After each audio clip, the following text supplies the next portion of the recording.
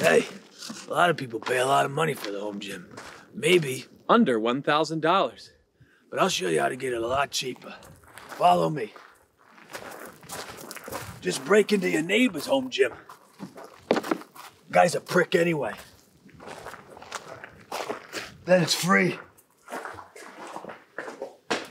Hey, what are you doing in my gym? You're not getting these back! Hey guys, Gluck here, and today we're going to talk about 10 items for your budget home gym in 2021 that you can get shipped to your door with tax for under $1,000. And that 2021 part is important because of with COVID and with the price of steel exploding, there are materials, there are articles and videos that were made in the past that explain how to do this, but some of that stuff's a little out of date because a lot of stuff is a lot more expensive nowadays, which is where hopefully the ton of research I put in comes in. I spent a lot of time on this. Now for these 10 items, I will give you a price range, kind of a low and a high range. We're all smart people. We realize that if we spend a little high on some of those items, you might have to cut some of the other stuff out or go lower later on. But these are not cheap items. These are items hopefully that you have for years to come and that you can build off of. I'm not gonna recommend something I haven't used before or something that you're gonna find three months later and say, this is a waste of $200. I wish I hadn't bought it. Now, all of our goals are different, so you'll have to use your own judgment to decide where you wanna go high or low or where you wanna make cuts. But you can get all of these items to your door for under a thousand dollars. Now let's get to number one, and that's the barbell. I don't think anybody's going to argue the importance of an Olympic barbell in a home gym. It's something you're going to use most, if not every single session you work out. It's something that's going to give us a huge range of exercises that we can utilize. Our price range for a barbell is gonna be 170 to $250, which means it's gonna rule out specialty bars like a curl bar or a deadlift bar, but it's going to give us a very good general purpose barbell. Now, I'll show you at the end of this section, if we cheat a little bit, you can actually get an incredibly high-end barbell, which is something I've done in the past. But first, we'll start with my low-end pick,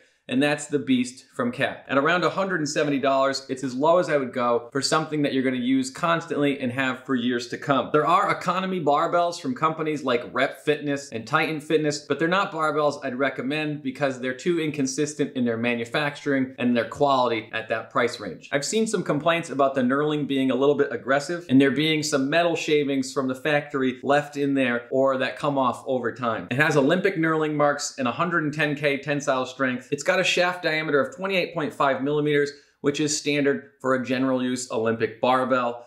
And it's gonna be the same as if you had an Ohio bar like this one right here, or if you go to the Rogue Echo, which would be my top choice at this price range. Now, admittedly, the Echo is really going to go over our price range at $255. And by the time you tax shipping and handling on there, you're looking at $300. But it is a really nice barbell if you can drop a little bit from some other categories. It has Olympic knurling marks, it's 190K tensile strength, it's made in America, and it's going to have less finish options. But the price trade-off is that it comes with a one-year warranty and only has one set of knurling marks rather than Olympic and powerlifting knurling marks. It's basically an Ohio bar, which is what this is, with those knurling marks missing and less of a warranty. If you want to not settle, there is another option. You can look at boneyard bars. The trade-off for a boneyard bar is that there's no warranty, but their price is often quite a bit less, putting us well within our $250 range. A boneyard bar is a rogue bar with some cosmetic defects, but no functional flaws. My Ohio deadlift bar is a boneyard bar, and I really can't tell what's wrong with it. Maybe there's a little scuff on the collars, but honestly, the quality of this bar is higher than some companies' normal standard. Now let's move on to our next item, which is your power rack. I don't think the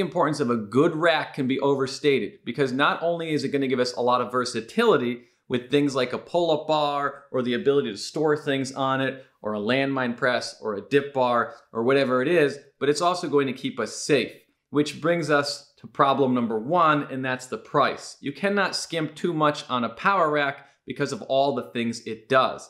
Our price range is 250 to $500. And as you can see, that's a bit of an issue because you could spend half of your budget on your power rack alone, which really could be a good option depending on your goals. Now, on the low end of the budget, I would recommend the Fitness Reality 810 XLT. This is really gonna be your bare bones rack. It comes with safety pins, a pull-up bar, J-cups, and has the ability to add some attachments to it later on. At $250, it's the low end of our budget. It's a 2x2 design, which is capable of holding up to 800 pounds. And most people would argue, I'm never gonna squat or lift 800 pounds. And while that's true for most people, that's not entirely the point.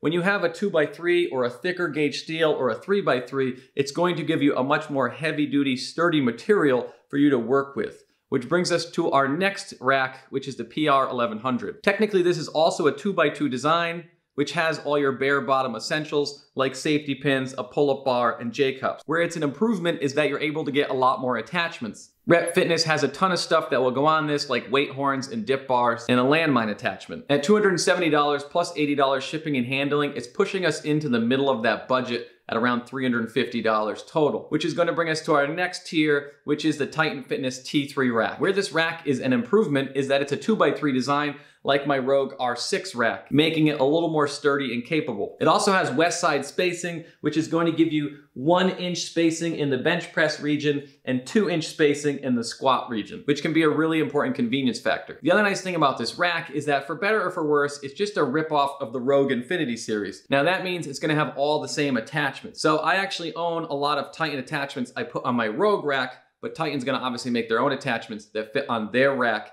and they work pretty well in my experience. Now, I really tried to work to find a Rogue quality rack in this price range, but I just don't think it can be done.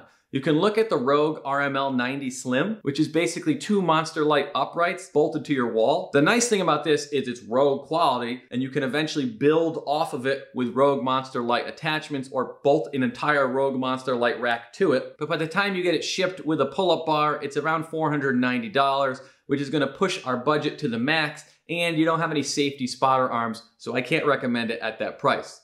Which brings us to our next item, which is our benches. The nice thing about a bench is it gives you a nice place to relax or check your phone while you wait for people to hit the subscribe button.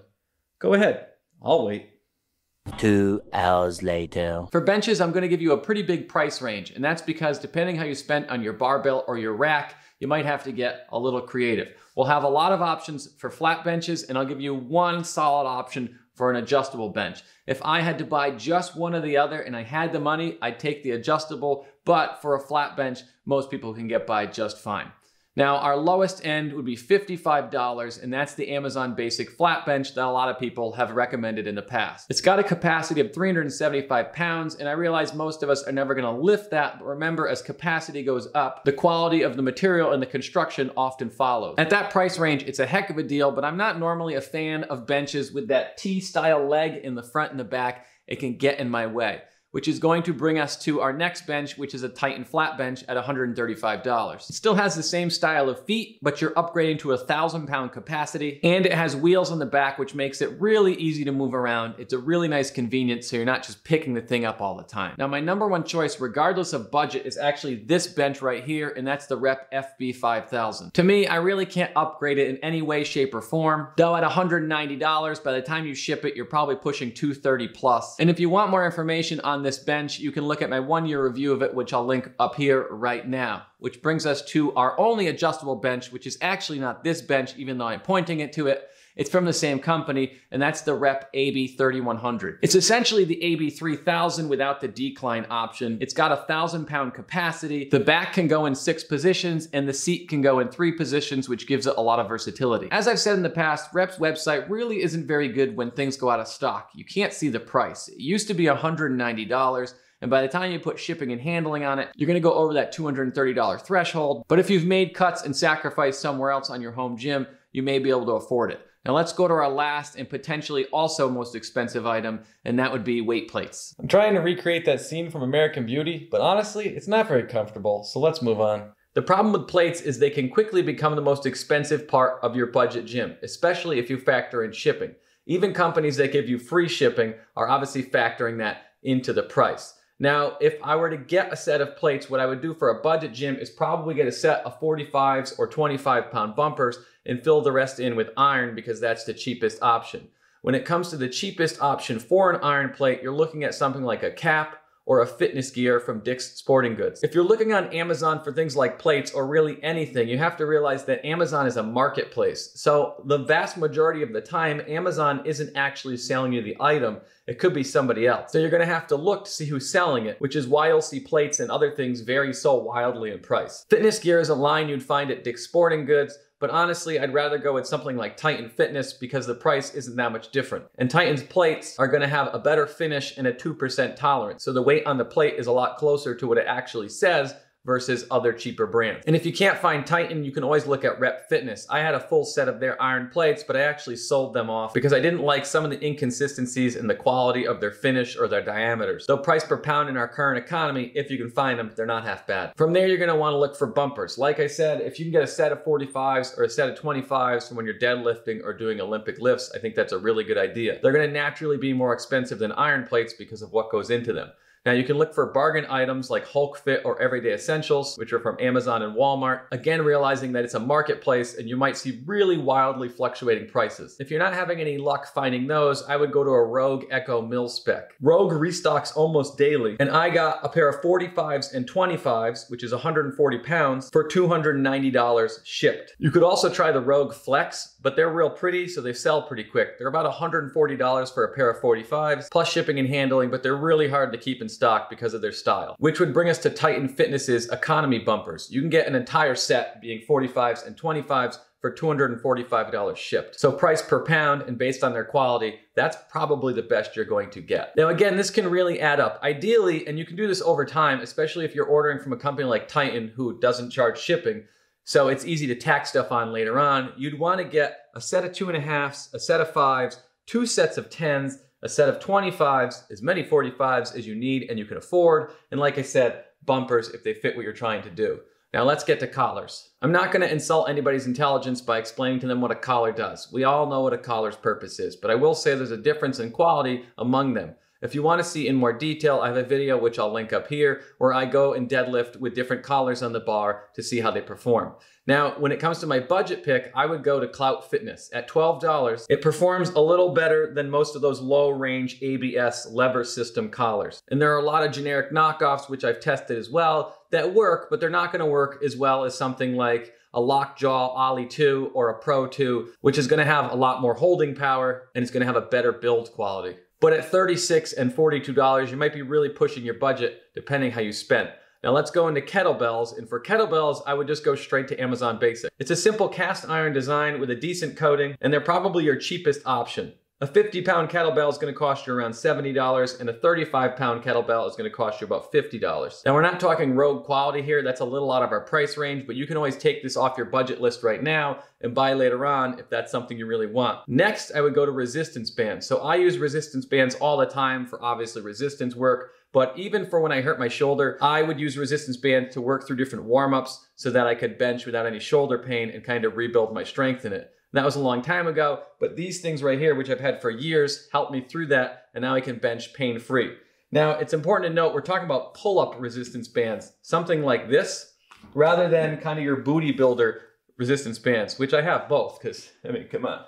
But here, we want to really focus on the pull-up bands because they're a little more useful. Now, my pick would be Canway, and that's the company I've had for a few years now. There are a ton of companies that make these, so if you pick somebody else, you want to make sure you don't go too cheap on them because they can break. And you want to pick one that's made out of natural latex. Now, currently these cost $31, and I think that's a really good price for the value they add to your home gym.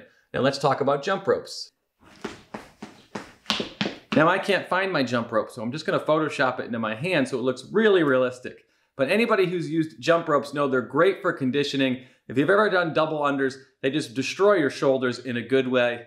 And for a budget pick at around 10 to $12, I'd pick a PVC jump rope like the Deagle or Deggle. It's the most popular jump rope on Amazon and you can adjust the length. If you want a speed rope like the one I have, but it's not currently in my hands, I'd go with WOD Nation at $19 with really good ratings. It works incredibly well as long as you're using it on a smooth surface so you're not chewing it up on concrete or something like that. Now let's take a look at our flooring. I don't really want to repeat my joke from the last video about flooring, even though I look super cute doing it. So instead, we'll just go right into the recommendation which would be a horse stall mat from Tractor Supply, which you can get for about $50. They're four foot by six foot by three quarters of an inch thick, and you can cut them to size. Or option two would be to build your own platform. It's super simple, anybody can do it. It's just horse stall mats with plywood stacked up underneath, and you screw it together.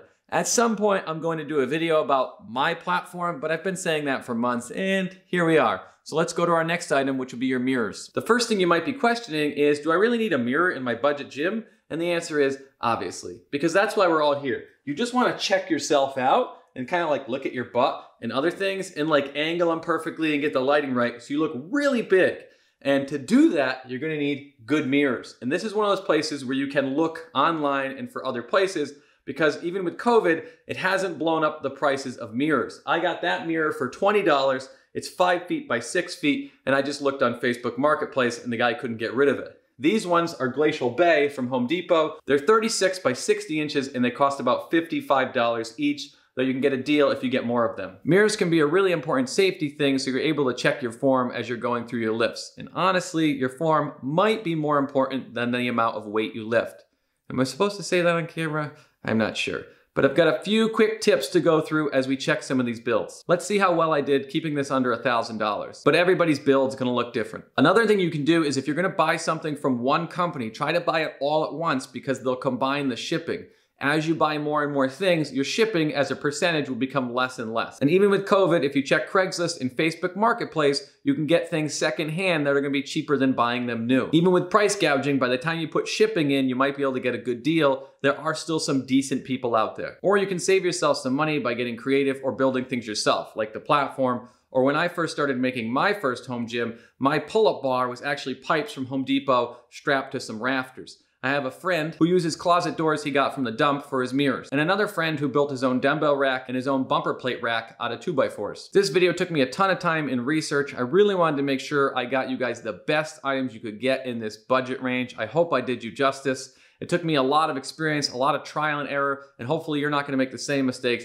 I've made over those years. I hope you enjoyed the video. Thanks for watching. I'll see you next time. Did you whip it? That's better. That's better. Yeah. You sound good when you're over there, but behind the camera, you ain't so good.